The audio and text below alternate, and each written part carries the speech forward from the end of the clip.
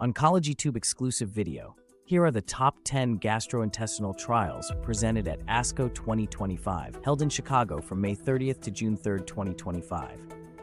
Number 10, POLK-B trial compares neoadjuvant chemotherapy versus chemoradiotherapy in gallbladder cancer on May 31st at 3 p.m. Central Time Hall D. Number 9. Actuate 1801 trial tests elraglusib with nab-paclitaxel and gemcitabine in pancreatic cancer on May 1st at 3 p.m. Central Time Hall D. Number 8. Checkmate 5 and 7. Trial shares updated results on adjuvant nivolumab in esophageal cancers on May 31st at 3 p.m. Central Time Hall D. Number 7. Anchor trial compares anlotinib versus bevacizumab in metastatic colorectal cancer on May 30th at 2:45 p.m. Central Time Hall D.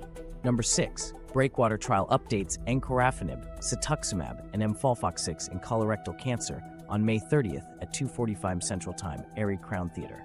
Number 5. LBA 4004. Trial compares preoperative mFOLFIRINOX versus PAX-G in pancreatic cancer on May 30th at 2:45 p.m. Central Time Hall D. Number 4. Destiny Gastric 4 trial compares trastuzumab deruxtecan to ramucirumab in GEJ cancer on May 31st at 3 p.m. Central Time Hall D.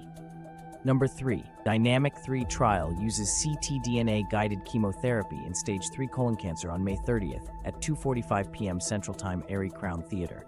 Number 2. Matterhorn trial evaluates perioperative durvalumab plus FLOT in gastric cancers on June 1st at 1 p.m. Central Time Hall B1.